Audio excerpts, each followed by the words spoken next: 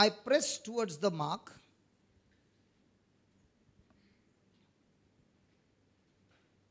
I press towards the mark. That is, I pursue the white line in the stadium. I pursue the white line in the stadium.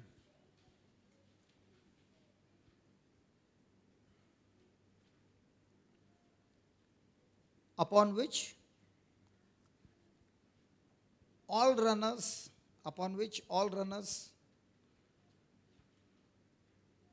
much must keep their eyes fixed upon which all runners must keep their eyes fixed lest lest I be disqualified lest I be disqualified for the prize.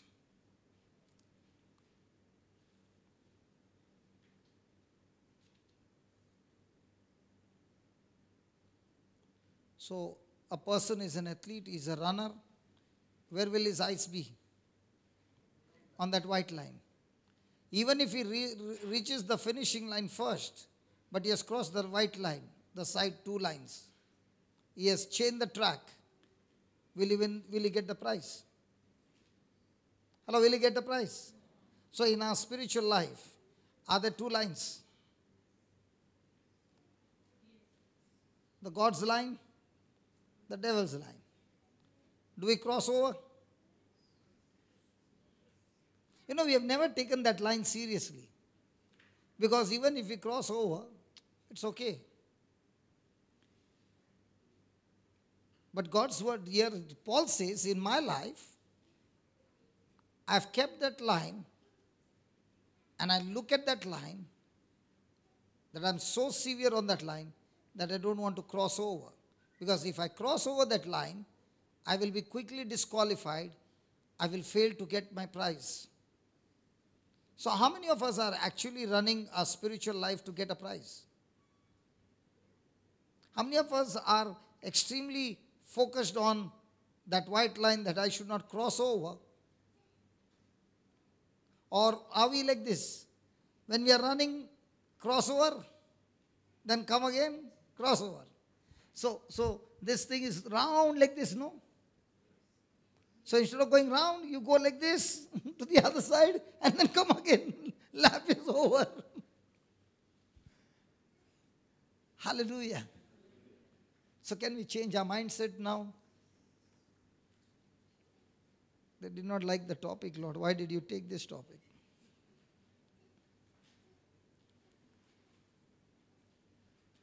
Hmm? Isn't it a, a very important line that we learned today about the white line? How quickly do we cross over? You both are good friends.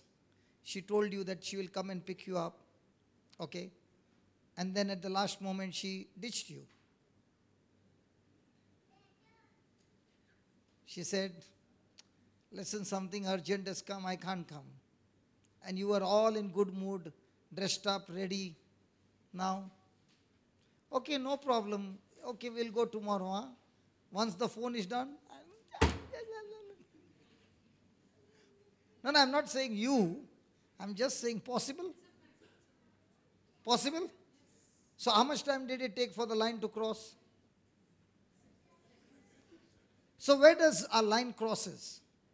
Maximum line crosses in our relationships. So, where do you get maximum rewards? In relationship. Where you get maximum in a mess? In relationship. So, the devil's job is to get you off the line. And God is saying, listen, listen. Even if you are running and you come last, no, don't worry. But if you have not crossed the line and you are reaching last, still there is a reward for you. But if you cross the line and you reach the finishing line, no reward for you. So, can we tonight be extremely vigilant? And when we are going back, tomorrow we'll ask, uh, tomorrow we'll have a, a, test, okay? And the test is how much did we, um, how much were we extremely vigilant that we did not cross the line? And when three members are of the same family sitting together, excellent result. For you all, there is an advantage here. Because all the three have already made up their mind, I'll not cross the line. But we are going to go back with those others who will draw us to cross the line. Praise God. And the ones whose whole family is here, no problem at all. Huh? Praise God. Thank you, Jesus. So God's mercy is new each day. He wants to love us, He wants to give us a great future. Praise God. But it is we who cross the line, and that's why we fail to get God's mercy and grace. Amen. Can you just write down some more points? Is it helping you? Or is the, is the topic very dry? Huh? The topic is dry, huh? challenging us. No? See, all topics are good if we put it into practice. And you know what happens when I come the next month and I ask you the questions of what was taught and you don't answer? That means you never took a revision of what was learned. Okay, before we go further, about the storms, we've learned, we finished the first storm, right? The second storm is, I, I forgot just now that before going further, let, let's do, do the second storm. First storm was what? The storm is because of my disobedience. Okay? So, who is the author of the storm? Me. Now, the second storm is I am obedient, but yet there is a storm in my life. Example is Jesus, after preaching to them in Mark 4, he, he spoke to them uh, about the sower and the seed, and he said how powerful the seed is and how it brings forth the harvest. And after sharing all this, Jesus said to the disciples, Let's go to the other side. And it was evening. So they took him into the boat and they were going by in the evening. All of a sudden, there was a storm. The disciples were trying their best. The, the water beat on the ship the water entered the ship and Jesus was sleeping at, by, on a pillow. I wonder how Jesus must have been sleeping with rock and roll. Huh? And it's and the storm bringing in so much of water, and still Jesus is fast asleep. Okay. Now, they woke him up saying, Don't you care that we are going to die? And Jesus got up and spoke to the storm, Peace, be still, and everything was still. Now, the question in this storm, did Jesus commit any blunder? What had Jesus committed any sin? No. So even though he had committed no sin, did this storm come to kill him? Yes. So who was the author of this storm? The devil. See, the first storm, the devil was not the author. My own disobedience was the author. Okay? Second storm is I'm extremely obedient. I'm having extreme good time with the Lord. But in the midst of all that, I still face a storm. Now, Satan is the cause of that storm. Now, in the first storm, we learned when there is disobedience and I want the storm to end, even though I'm praying, it will not end. The only way it can end is repentance and acknowledging my sin. Okay? But in the second storm, when I'm in obedience, I don't need to repent because there is no nothing for me to repent. Then how come Jesus oh, overcame the storm? Jesus oh, overcame the storm by speaking the word of faith. By speaking the word of faith. Now let's change that. If I'm in the first storm of disobedience and I'm using the word of faith, will it work? Hello, are you with me? Again, again, again. Now we take the first storm. The first storm is where I disobeyed God, and that's why the storm came, like David. Now, in the midst of this storm, the person is using the word of faith to stop the storm. Will it work? It will not work. Are you, see, David was asking God to heal him, heal him, heal him. Did he get healed? For one year? No. Till his sin was confessed and repented. And then did he get the healing? Yes. So, in the first storm, we need to repent. In the second storm, we need to use the word of faith. Now, the third storm is a storm that many people go through. And that storm is you are extremely obedient, you are having a good time with the Lord, but you are associated with somebody with whom you cannot cut off, and that somebody is in disobedience. Example would be the wife comes for all the meetings, is a very wonderful lady, praise to God, a very loving lady, but she has got married to a husband who has got nothing to do with God, living a life of sin, living a life of um, uh, taking bribes, living a, a life of disobedience. Now, when this person is living this kind of life, will it affect his life? If the husband is going on drinking, will it affect his liver? Come on. Now, when it affects his liver, will it affect his job? Will it affect his finances? Will it affect his relationship? Now, will that affect the wife as well? Will it affect his children? So, in this storm, I'm not the cause, but because I'm associated with somebody which I cannot avoid, which I cannot cut off. For example, I'm in the office and there's a colleague who is really irritating person, really making a mess, and you are in the same team and you got a project on the line. Now, when this person is making a mess, will it affect a mess in the project? Nisha, project manager, yes. Yes. Does it affect? Now, is it irritating you? Yes. Do you want to fire that person? Yeah. Praise God. Now, what does a person do?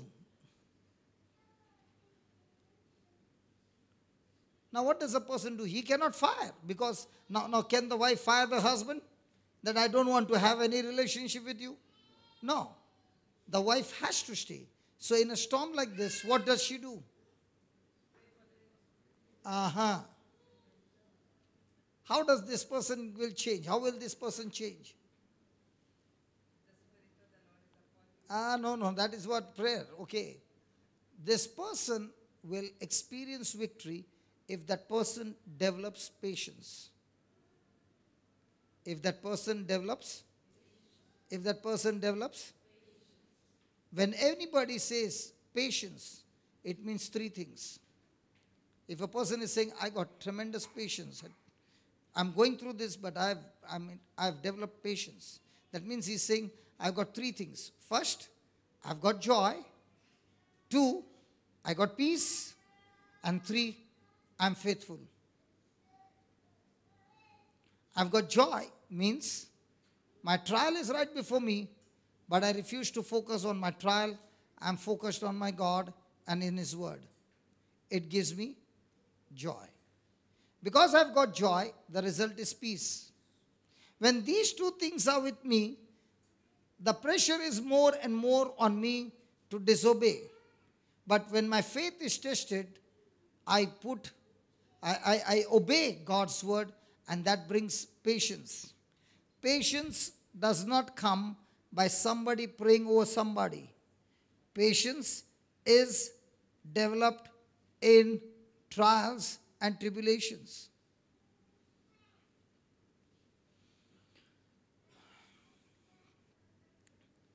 I, I, I, was a very naughty boy, okay?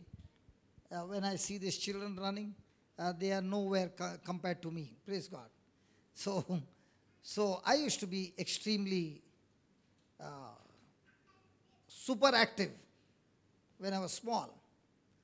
And, you know, people used to ask my mom, how can you control him?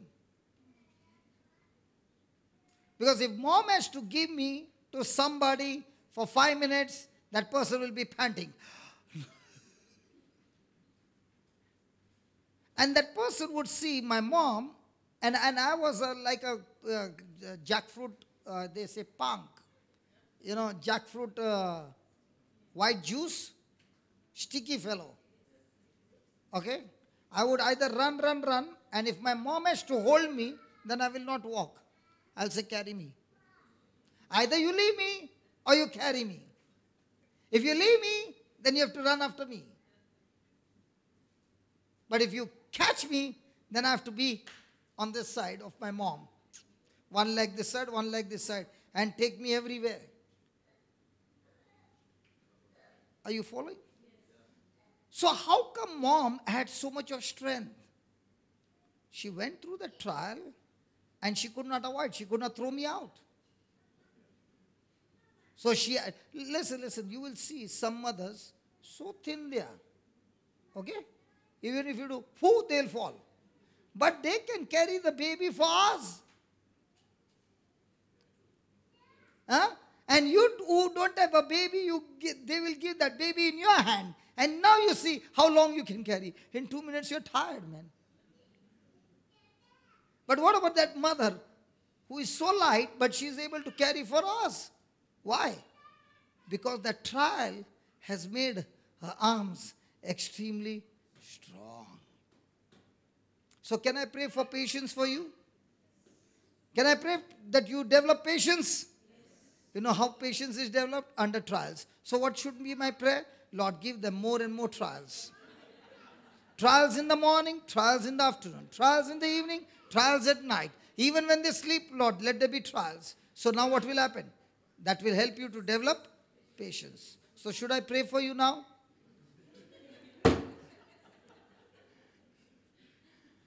Hallelujah. Thank you, Jesus. Most of the people, when they are associated with their loved ones, which you cannot avoid, get into impatience. They might be praying, hard, really praying hard. But when it comes to patience, they don't employ patience. There's no joy, there's no, there's no peace. Joy and peace does not depend on circumstances and on people. It depends the way you think. And once that person is joyful and peaceful, irrespective of what the other person is behaving, what the other person is doing, and continues to walk with patience, that patience is what? Brings conversion. Because many had told my wife, Your husband is like a dog's tail. Even after 10 years, a dog tail. He will never be straight. Thank God she did not give up on me. She struggled for 10 years. When I would walk in, the prayer book has to go inside. If the prayer book is out, the prayer book goes out of the window. Praise God. But that patience, holding on, is what brought conversion, not retaliating. Thank you, Jesus. So, every one of us will face these kinds of storms in life. What's the solution? If I'm in disobedience, the solution is repentance. If I'm in faith, obedience, then I use the word of faith. If I'm in obedience and my loved one is in disobedience, then the solution for that is patience. Praise God. Have you ever been impatient with your loved one? Anybody? Hello? Have you lost your fuse sometime? Hello? All the time? then your case will not be improved, your case will become worse. Because many a times you feel that if I become impatient and show some temper and show some anger. It, it will sort of my case. Might be uh, on that day, everything became quiet, but that seed of anger and bitterness was planted. It will grow and it will bring more hatred. That's why God, uh, Jesus says, we can overcome every evil with good. And it looks really foolish, really, really foolish when everybody is taking advantage of you. Did we learn last time, resist not evil? Did we learn Matthew? Okay, just put that Matthew 5 39. We learned here last time? Or today what we learned? Only one person knows. I think from next time I should come and take the same topic again and again and again till the till you answer all the questions. Yeah, read. 539. But I say unto you that you resist evil, that you resist evil, that you re- resist evil. Then how come he said resist the devil?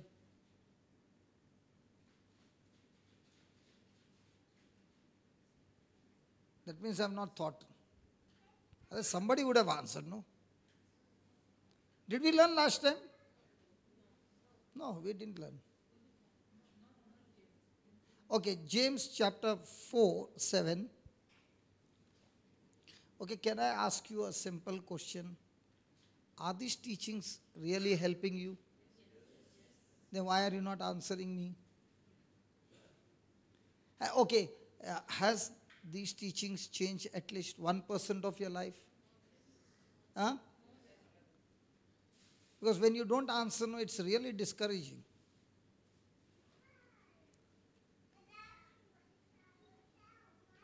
Okay, read 4 7. Submit your spouse to God. Mostly, what are we doing? Surrendering my spouse to God. And what about you? Nothing is wrong with me. Where's the problem? The problem is with my spouse, brother. Hallelujah. So, what is the Lord saying? Submit your spouse to the Lord, then? Huh? Yourself or your, your spouse is there? Brother, see correctly? Sure? Okay, submit yourself to God, resist the devil, and he will flee from you. What is submit? We have learned this before, yaar. What is submit? Submit. Okay, I'll give you one more word. Submission. I give you the clue. Submission.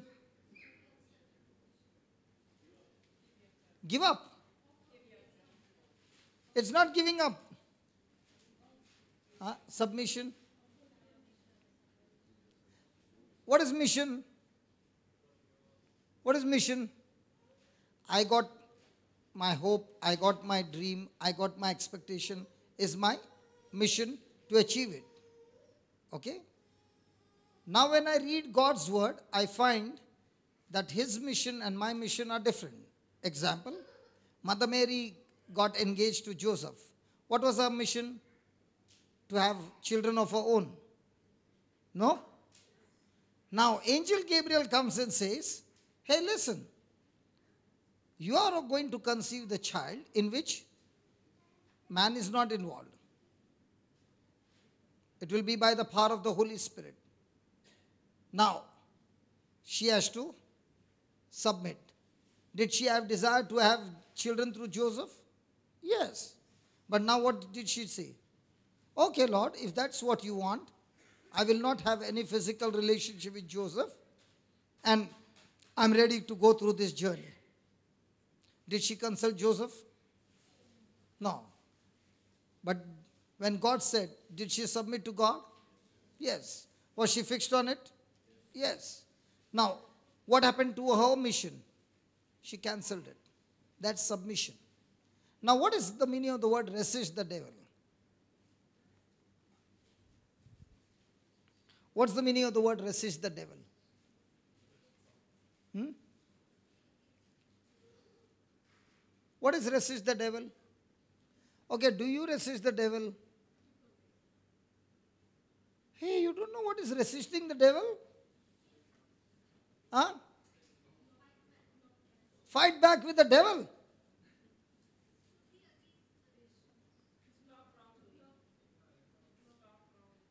How do you block? Y'all are not giving me the right answer. Okay, okay, I will give you the answer. When Mother Mary submitted to God, correct? And she cancelled her own mission. Was that purpose higher than her purpose? By that purpose, was God able to bring His plan into her life? Was that more powerful, more greater than her own plan? So the devil knows that whenever any person submits to God's word, it will only take that person to a higher level, to God's plan and God's purpose, and the lower level will get cancelled. He knows that. So, what is his way of stopping a person? Okay, I'll give you an example. Thank you. Holy Spirit, you're so good to give an example. Okay, example. God created Adam and Eve, gave them the Garden of Eden. Adam did not even have to work, he did not even have to sweat. Everything was taken care of. All that God was saying is to love. And in that love, He just said, one tree fruit you shall not eat. Now, was Adam submissive to God all this time? Yes. Yes. Now, the devil knows as long as Adam is in submission to God, he cannot do anything. So he has to stop him submitting to God's word. And what's the way to stop him? To tell him a lie.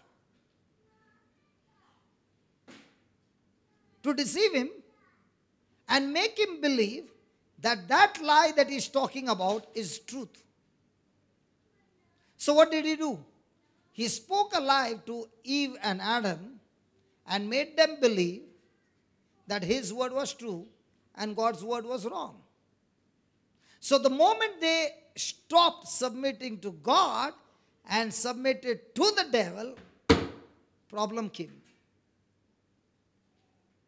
In the same way today, when I submit to God, devil has no power over me. When I stop submitting to God and I listen to the lies of the devil and accept it, now I have activated problems after problems in my life. So, what is the meaning of the word resisting the devil? Resisting the devil simply means resisting every lie, every thought of the devil that he is talking about that is challenging me to disobey God. Resisting the thoughts of lust, resisting the thoughts of unforgiveness. Praise God. Hallelujah. Thank you, Jesus. Thank you, Jesus. So ask a question Do I resist the devil? That means, do I resist the thought that comes to me first? And if I don't resist, the thought begins to multiply. I don't resist, now it begins to multiply more. I don't resist, now it is telling me to take some decisions. I don't resist now. Now I'm actually in action. Praise God. So, resisting the devil would be resisting the negative thoughts. Okay? Now come back to Matthew 5 39 and let's see what he's saying. Resist you not evil. Read it. For I say unto you, read the 38th verse, please. 38. You have heard? No, no, read, read it loudly, brother. Come on, read it loudly. it had been said, an eye for an eye, a tooth for a tooth. So you have heard that. But I say unto you, what? Resist you not. That means when a person is coming a tooth for a tooth, you don't repay with a tooth for a tooth. An eye for an eye means do not retaliate, do not uh, take revenge. Okay? Then So if somebody smites you on one cheek, give the other. So, in other words, resist the wicked thoughts in your mind. But if somebody is coming to do wrong to you, don't stop him. Sorry? Stop him. Bible says don't stop him.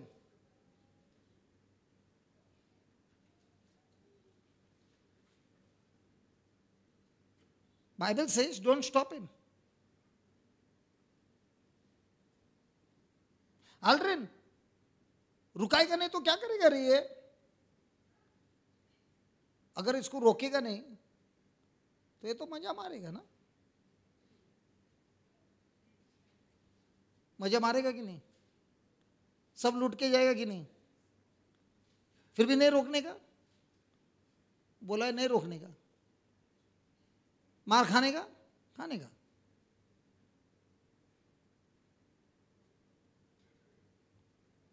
Okay let's take some examples can we take some examples okay let's take the first example Jesus did you have the power to retaliate Did he have the power to stop the whole process of the crucifixion? Did he stop? When he was insulted, did he stop? When he was kicked, did he stop? When he was spat, did he stop? Did he stop anybody anywhere? Why not? Because he handed his case over to the one who judges righteously. When I preserve myself, I defend myself, I become the God of myself. But when I don't defend myself, then God defends my, me. That's why these teachings are not much thought and practiced. Today we were studying about Jesus, the true wine Okay? And the branch abides in the wine, right? So, what kind of words do we have in us? The promises of God or the warnings of God? Which one do we always keep with us? If somebody is going through some trouble, what will they ask me? Warnings of God or promises of God? पहला आदमी है यार इसका photo ले जो जल्दी जाके photo ले जल्दी लगा डालेगा वेबसाइट पे honestly by default human nature what would be See, if, if I, if, I'll tell you, if we start learning the Bible, studying the Bible, especially treasuring the warnings of God in our heart and apply them, promises of God will come by default. Are you following? And if you have got the promises of God and you have failed in the warnings of God, by default, no reward is coming.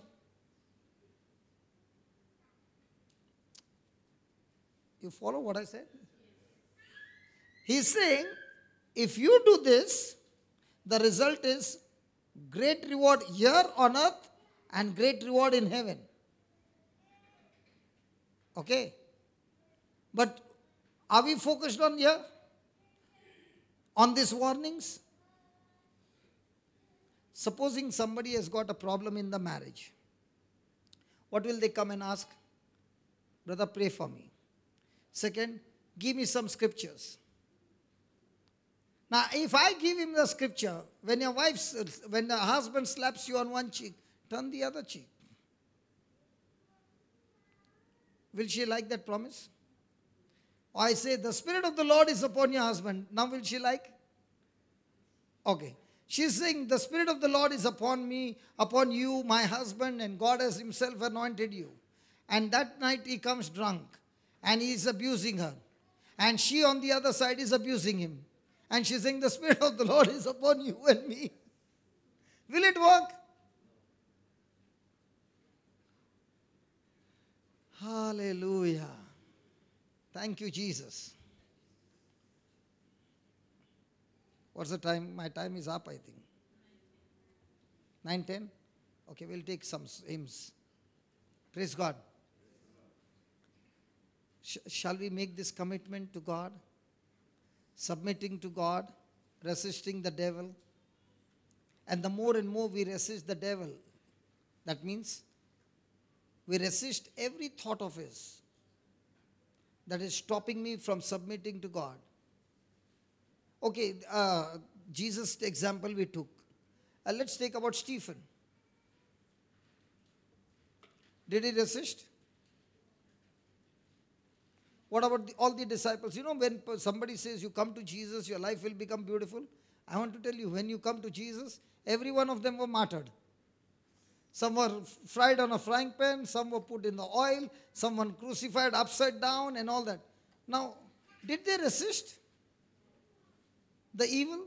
Show me in the Acts of the Apostles when there was persecution that they prayed to God, God, please stop the persecution. No, they never resisted evil.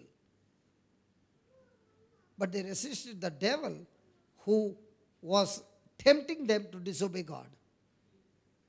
So, in other words, they did not resist what people did to them. So, in other words, what people do to me is none of my business. What I do to people is my full business. Amen.